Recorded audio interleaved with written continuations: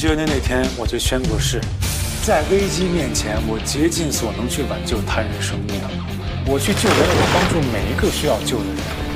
可是你自己得首先保证你的安全，收到。一直都有人问我一个问题：你用自己的生命去保护别人的生命，这么做值不值得？我挡在客户和危险之间，是我的职责所在，小心，也是我至高无上的荣誉。我爱我的职业，我会继续努力，不辱使命。侯姐你好，我是五十一，接替周全做你的安全随位。哎，你你你你你站哪站哪？谁来的？你怎么这么烦人呢？这跟你有关系吗？以后你想让我出现都不可能。你以为你谁呀？你不就是一个人肉盾牌吗？你不就是一个看门狗吗？就侮辱我的职业，我就侮辱你职业了。晨晨干嘛？根本没有错，他们为什么要投诉我呀？怎么就那么难呢？不准打他，知道吗？不可以，懂不懂？你们都不行。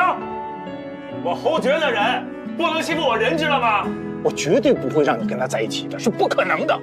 他表面看上去混不吝，其实内心非常善良，所以每次救援，他都一副不要命的样子。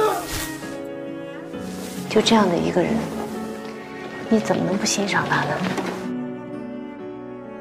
看着他任性、犯错、发小脾气，看着他从浮躁中一点点稳定下来，变得成熟，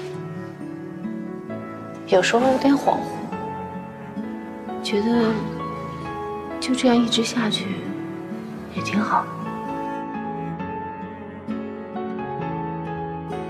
人这一生中呢，大概会遇到两千九百二十多万人，所以两个人相遇的几率大概是百分之零点零零零四九。我今天遇到了你，我大概用了三生三世的运气，你得赔给我。